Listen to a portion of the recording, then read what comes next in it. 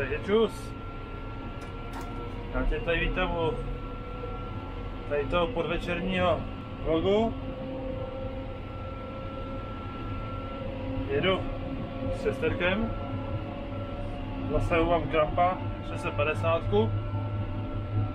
což značí odvoz, takže vozím pšenici od kombajnu na poskytňovou linku.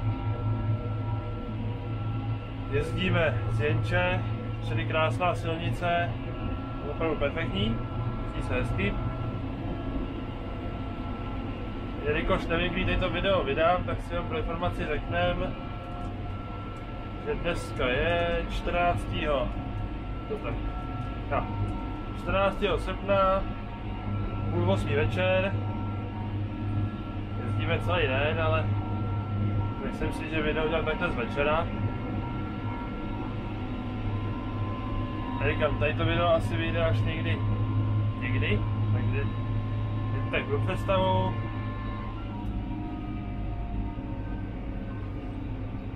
Co se týká porostu, tak v té jenči se urodilo hezky. Ta pšenice dává něco kolem 10 tun. Celkový kompletní výnos z předchozího pole, co jsme sekali, tak bylo 10,66 tuny z hektaru což je krásný. Takže jsme se i jako hodně najezdili z Pěnče. Ačkoliv teda je to relativně blízko, tak jak to sypalo, tak to byly hodně rychlé otočky. Vozíme ve třech, od dvou kombajnů, seká STSK a SKO. No a na odvozu jsem já s touhle soupravou, pak je tam ještě kolega s Fendem 933 a za sebou Krampa 800 klasický. Pak je jako jediná taková změna, tak Krampe 900, ale netahá ho 936 Fend, ale 830 John. Takže jsme tam vělení přesile. Je paráda. Ale doufám, že v tom videu nebudeme moc vadit tady to, to stínítko, ale já bych jinak nic neviděl. Bohužel, co jsem jako zkoušel, tak e, místo dnešní brýle jako s kamerou na hlavě úplně nespolupracují. Není to příjemný, obojí najedou na hlavě, takže já tady máme jako to 8530 s tou 900. Takže kam lítáme takhle ve třech. Sice je to nakrátko, ale prostě to sype. No, tady máme dosekáno. Akorát to bylo mokrý, takže jsme z toho ujeli. Je to paráda, ať co se týče vlhkosti, objemovka, všechno v fajku.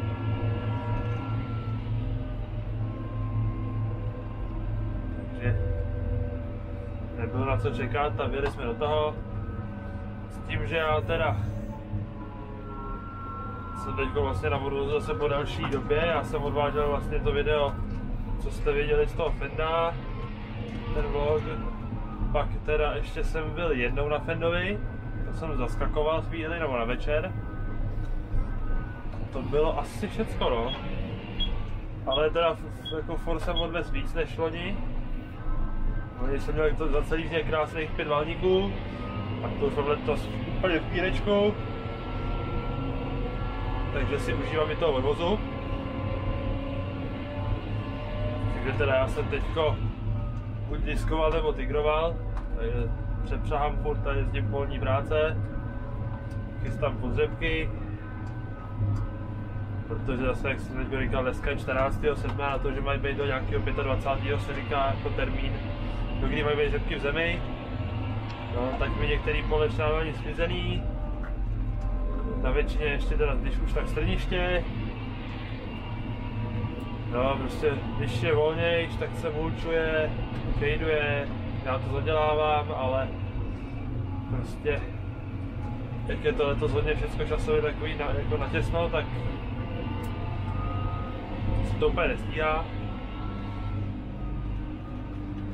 Vlastně i ty co se jeli řepky, co jsou sklizený, tak ještě nikde není ani zadělaný strniště po řepkách. Říkám, skáču zleva doprava, z pole na pole, do toho furt prší, takže ta hlína prostě nenasychá. Je to furt mokrý jak hnoj, takže takový zážitky no. Vidíme kam budeme sklápět, buď to sklápěm na koš, anebo couvám do haly, jakoby za roh. Vidíme kam to půjde teďko, já se vám pak ozvu. Musím něco natočit i z toho vykládání. A uvidíme jak se to povede.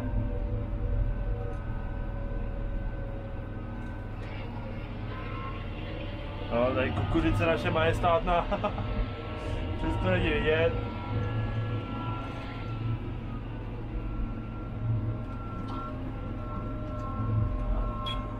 Blinkne.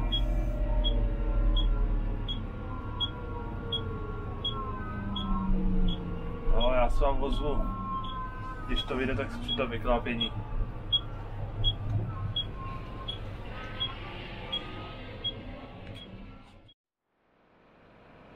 Tak jo, já už jsem na poli, z vyklápění tady teda nic nebude, nebo aspoň ne z toho, jak jsem vyklápěl teďko. Máme tady už teda sluníčko zapadlo, takže tady vlastně je poslední jízda a půl. A na druhé straně tam zbývá taky ještě nějaký proužek. Takže tady to pole se dneska dodělá. A uvidíme, kam se půjde zítra.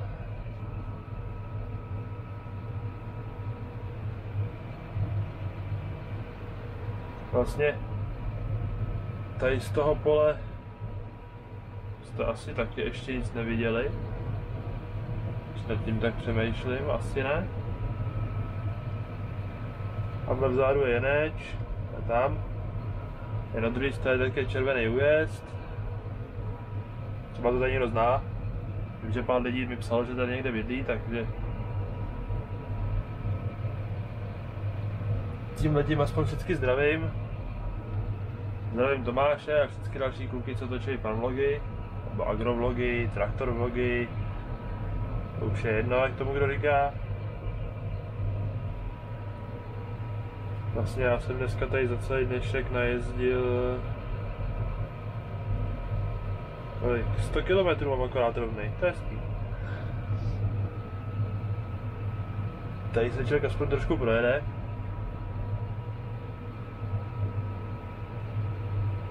Jo, tady Esko proti nám.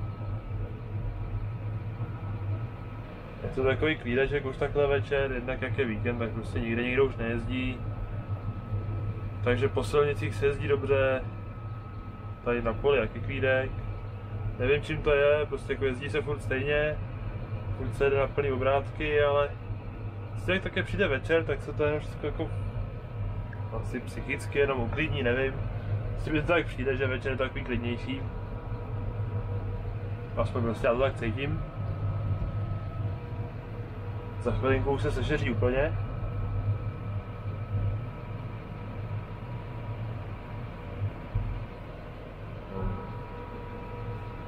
Teďko vlastně čekám, kdo, kdo dřív vysune rouru na vysejpání, jestli tady je Esko, nebo jestli tam je vzadu STS. To je otázka, jo, STS.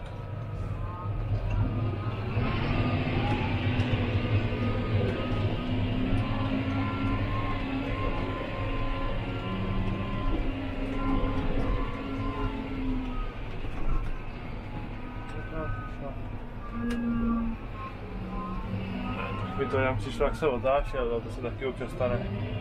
Tady Esko, hezky na pásech. Samozřejmě zdravím obsluhu, Peťu. A Marču samozřejmě, to nesmím zapomenout. Tak a uvidíme teda, kdo co. Jsem se zbytečně vyplašil, ale jak vlastně začal s tou STS zatáčet, tak ten komín jakoby nadvíhá, jak je vysunutý dozadu a vypadalo to jako kdyby ho dával do boku. O, stane se. jestli to je neutrál.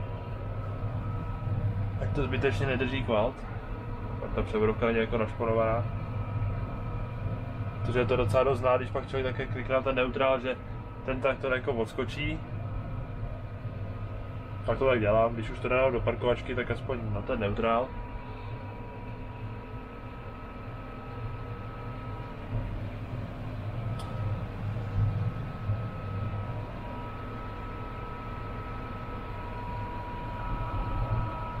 Taková večerní romantika. Tak je to správný. Prostě možně do večera hezky. Ať se na tom poli taky něco udělá.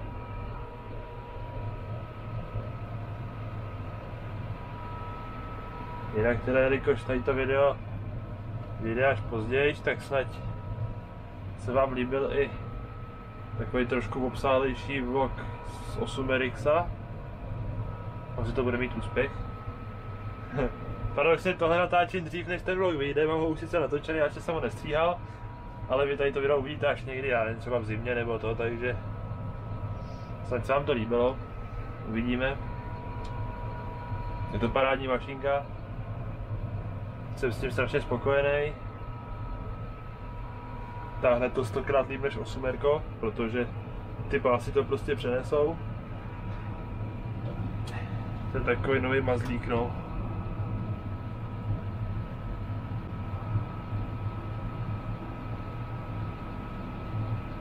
A je docela, tak docela pěkný, když takhle najednou půjde vrtulník. Nevím, jestli vy ho uvidíte. A i takhle vrtulník. A docela nízko, jako kdybych teď lítal dronem, tak ho sundám. hmm, zajímavý.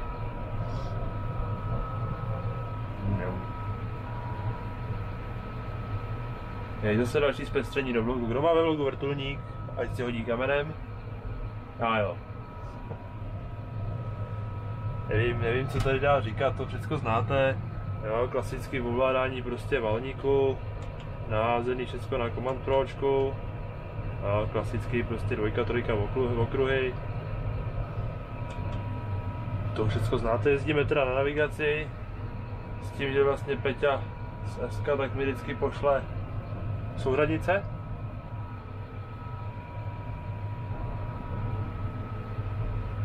a já jakoby se potom si tady přepíšu. Vlastně ono je to potom vidět tady. Ono je to potom vidět, když si tady tuštička, souřadnice, jo, tak tady jsou také číslíčka. A to mi vždycky vyfotí, pošle mi to, já si to pak přepíšu a valíme na to všichni vlastně, protože novinkou je, že vlastně navigaci už má je STS, má vlastní klobouk, je tam ten volant ATU, takže to samo řídí. Takže tady všichni jezdíme v jelení stopě.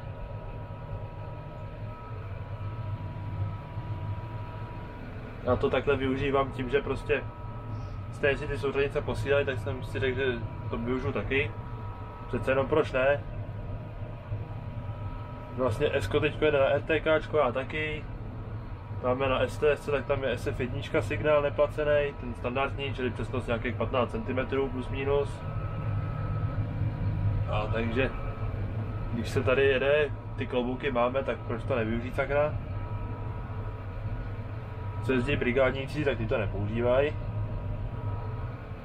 Ale já si to rád zpříjemním takhle tou navigací s tím, že vlastně, jak já, tak kombajnéři prostě víme, že eh, se nemůžeme nabourat, když prostě oba dva jedeme na jedné linii, nebo prostě na posunutý linii, takže ten postup je furt stejný, nekličkujeme, nejsou žádný problémy s tím.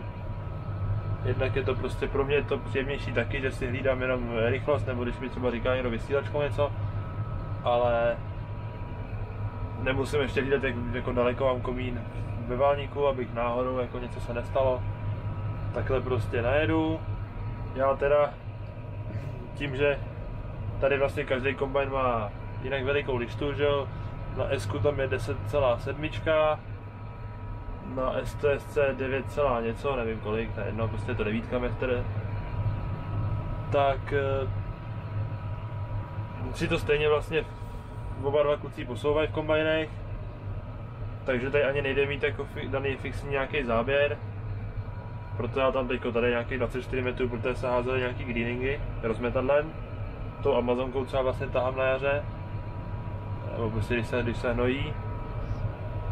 No a tady si to vždycky posunu tím stopy vlastně jakoby jenom vycentruju, najedu si, odhadnu si tím, že vlastně když přijíždím, tak si odhadnu jakoby, jak daleko mám rouru, odcentruju, nebo od, odkliknu si to, zapnu si navádění a pak už si hlídám jenom rychlost a nemusím nic řešit, což je baráda.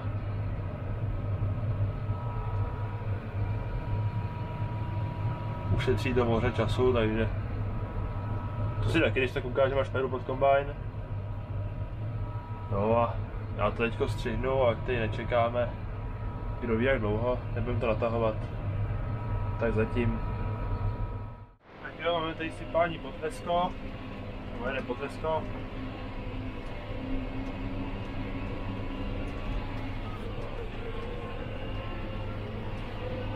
Trošku divočejší kolejáky.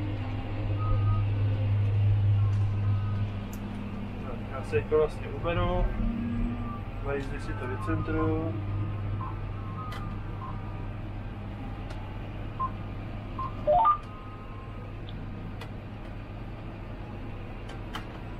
Dáváme si tempovat, jezdíme něco kolem těch třech, jak jde.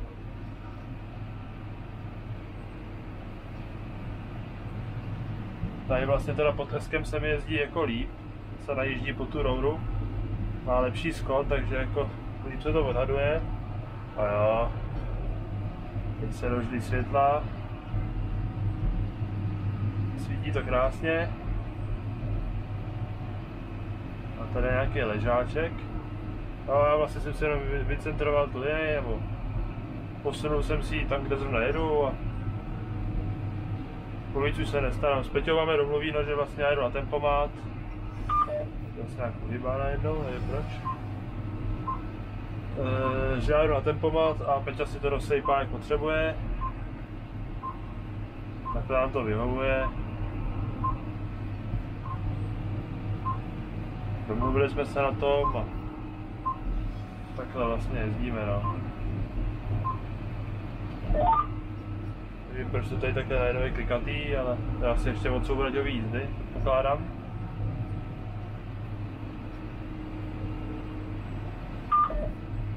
A tady nemá cenu asi pouštět, protože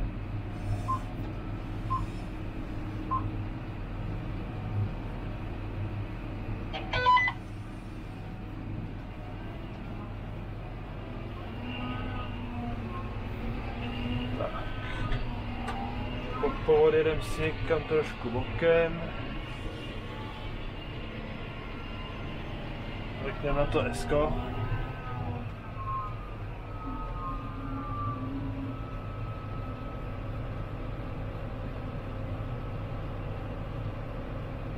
Vypadá to hezky takhle při těch světlech. Vlastně taky jsou to všechno letky. Netuším, kolik jich tam je ale svítí mu to moc hezky, takže si myslím, že žádný problém s tím asi nemá. A tady to taky svítí hezky, ale já jezdím na ty silniční, nemám potřebu si tady svítit ještě pracovníma světlama, pak už když jako hodně tmá, tak jo, ale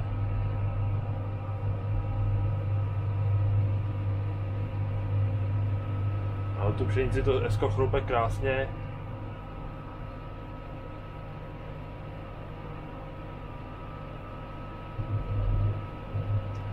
já si myslím, že by to tady pro to video mohlo stačit. Aspoň takhle nějaký další zajímavý video si myslím. Konečně jsem taky pod Eskem i s šesterkem, takže i John Deere kavalérie. A tady zase kukurice přes není vůbec vidět, no tak to už je taková klasika. No, takže to nebudu dál okecávat, budu rád za každý like, odběr, komentujte, ptejte se, jestli vás něco zajímá, já na to odpovím, co nejdřív. Budu rád, když to budete sdílet, teď se to dostane mezi další a další lidi. Myslím si, že ty videa jsou něčím přínosný, na rozdíl od některých fanlogerů, ale to je každýho věc, jak, jakým jako stylem to pojme, jestli z toho bude dělat někdo show, nebo jestli jako něco předat, něco vysvětlit, ukázat. To je na každým. Takže díky za sledování a do dalšího vlogu. Ahoj.